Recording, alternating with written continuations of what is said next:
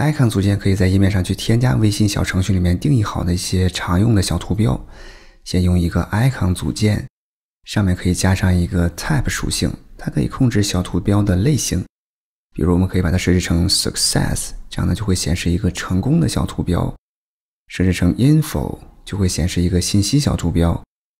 再把它设置成 search，表示搜索；cancel，表示取消。在 icon 组件上面，我们再用一个 size，可以去设置一下这个图标的大小。比如，我们可以把它设置成五十六，这个大小的单位是像素。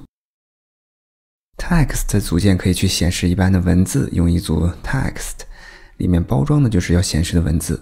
我们如果有一组元素或者文本要显示的话，可以去用一下 rich text 这个组件，它有一个 nodes 属性，对应的值就是一组节点。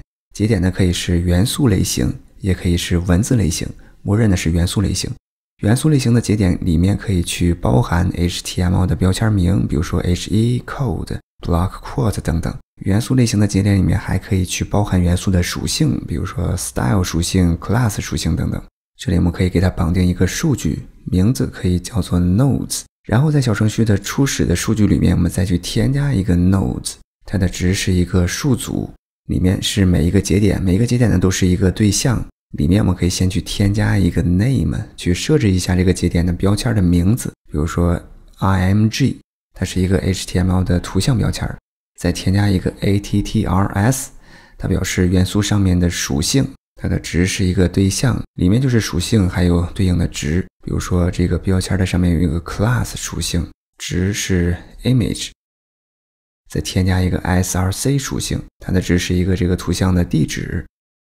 保存。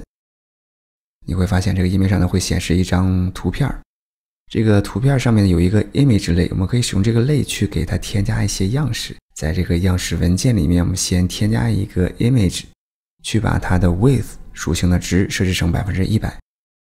在这个 nodes 里面，我们再去添加一个节点去试一下一个对象，然后用一个 name 设置一下它的标签名，这里我们用一下 h3 attrs。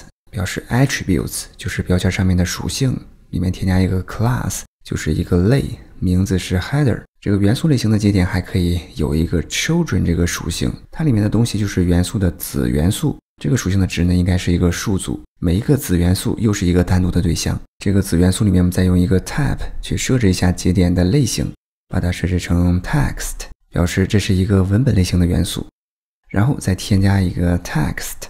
去设置一下这个元素里面的文字的内容。那么现在页面上呢会显示两个元素，一张图片，还有一个用 H3 标签包装的文字。我们再试一下 Progress 这个组件，它会在页面上呢显示一个进度条，表示当前的进度。可以用一下 Percent 这个属性去设置一下这个进度的一个百分比。这个进度的激活状态的一个颜色，我们可以使用 Active Color 这个属性来设置。